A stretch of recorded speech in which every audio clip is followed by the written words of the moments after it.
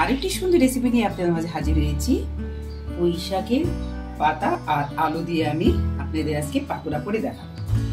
এখানে আমি কিছু পুঁই শাকের যে পাতা আছে সেটা আমি কুচি কুচি করে কেটে রেখে দিয়েছি। আর এর সাথে রয়েছে আমার চালের গুঁড়ো আর টু টেবিল স্পুন আমি দিয়েছি ময়দার সাথে মিলানো আছে।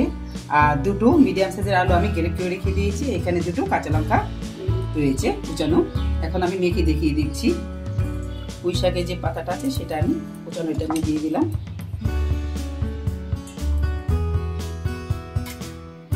আলু গ্রেট করা।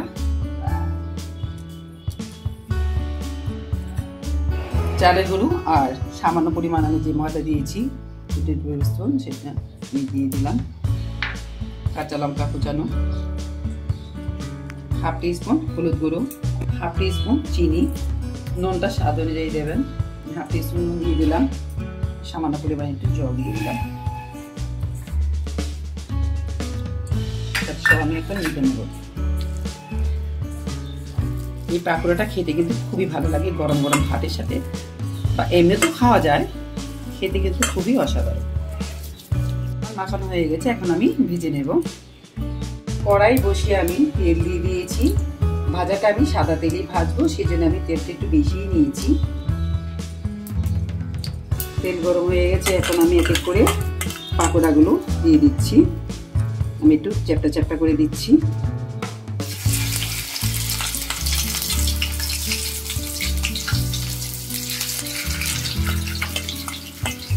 এইভাবে চ্যাপটা চ্যাপটা করে দিচ্ছি।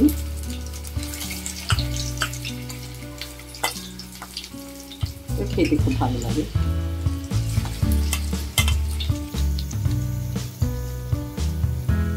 এক পাশ ভাজা হয়ে গেলে আমি এক পাশ উল্টে দেবো।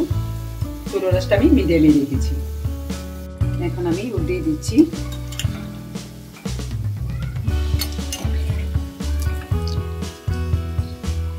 ভাজাটা আমি গোল্ডেন কালার করে ভেজে নেব।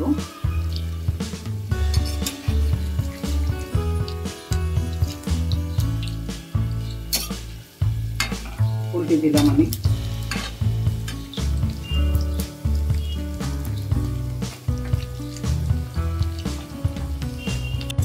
হয়ে গেছে। বাজারটা হতে আমার পাঁচ মিনিট সময় লেগেছে। এখন আমি উঠিয়ে নিচ্ছি। দেখুন কতটা সুন্দর হয়েছে।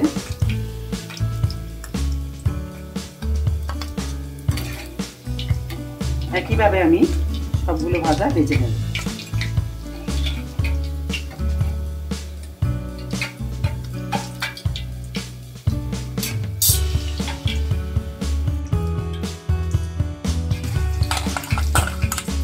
একইভাবে আমি সব পাকোড়াগুলো ভেজে নেব।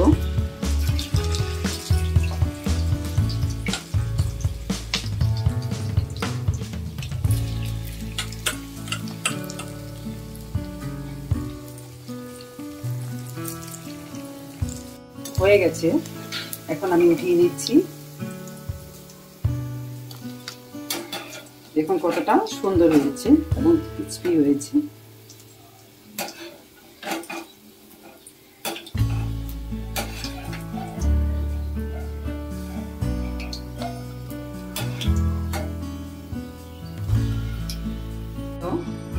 আলু আর পুঁই শাক দিয়ে পাকোড়া।